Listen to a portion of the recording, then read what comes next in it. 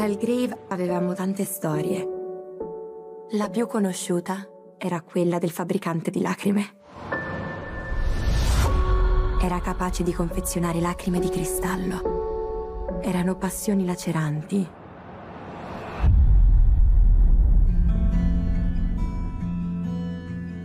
Un giorno capiranno chi sei veramente.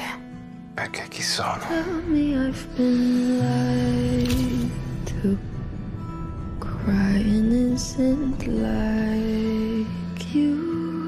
Stammi larga. È una minaccia. È un consiglio.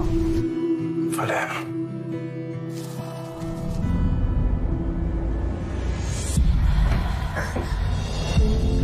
Avevo sempre creduto nelle favole. Avevo sempre sperato di viverne una.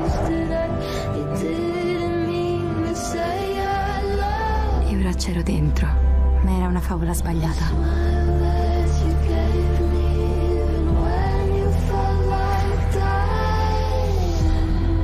Come pensi che andrà a finire questa storia?